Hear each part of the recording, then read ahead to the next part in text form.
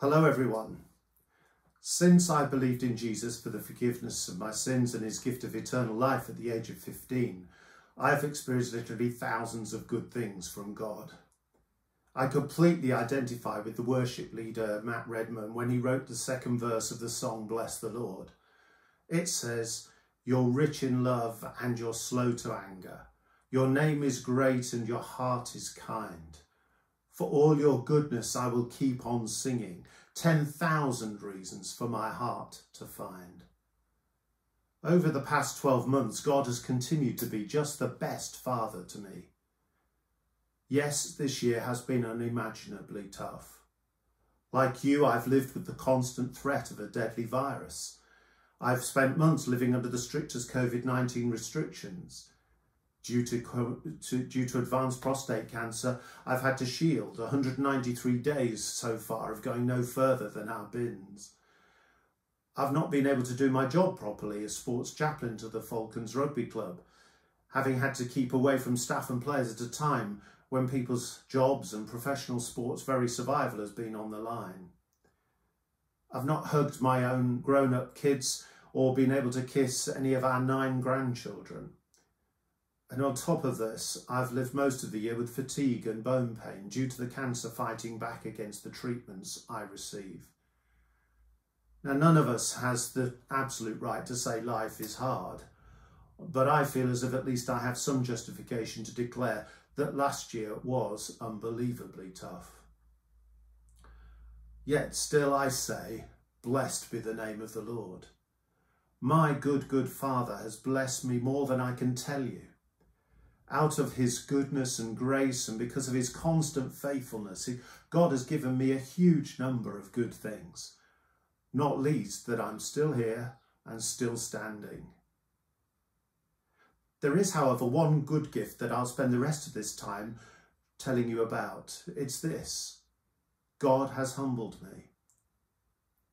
What I hear you say, you're describing being humbled as a good gift from God. Yes, I am. You see, I came to realise even before the pandemic that my Heavenly Father was on my case, that he was being the master potter, as he is described in Isaiah 64 verse 8, and he was getting to work on the clay of my life.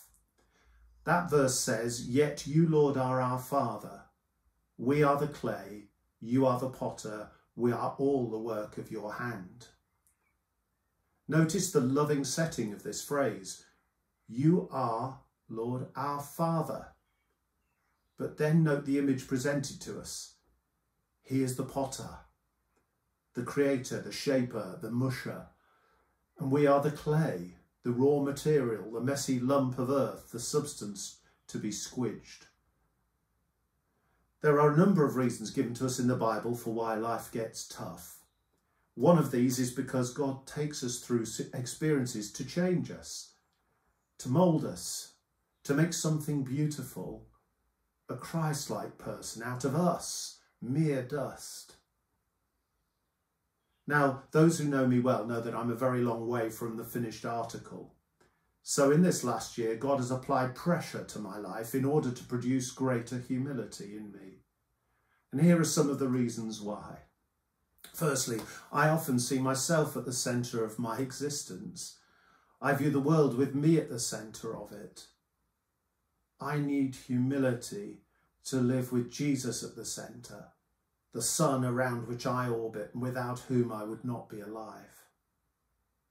Then I'm proud.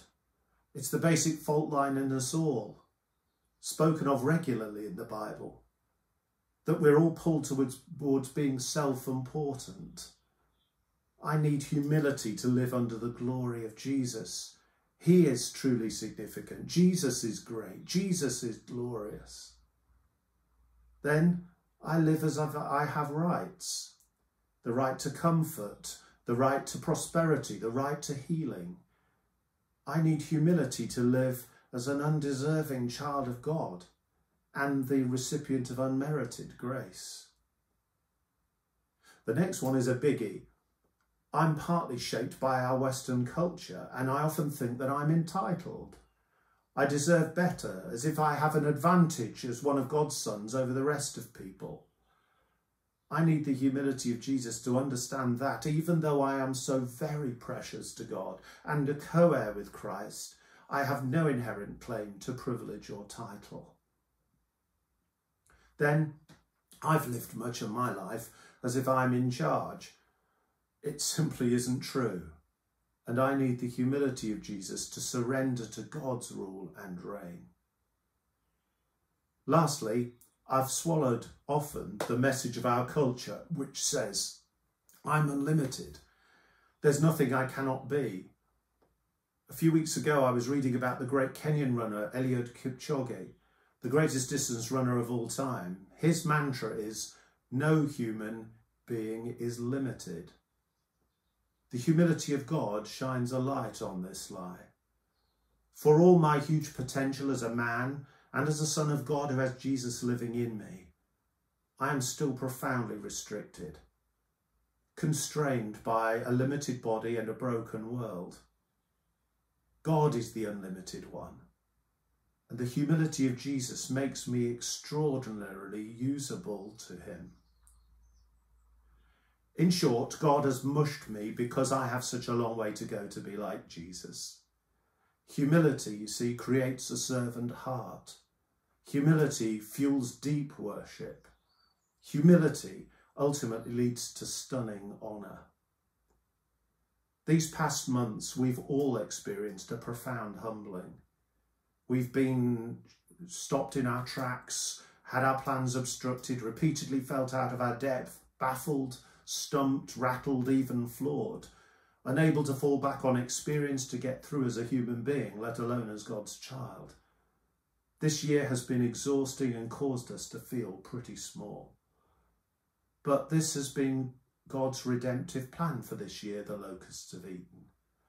To the question, why has God allowed the pandemic and all that comes with it, the answer in some part is to bring us to our knees in surrender.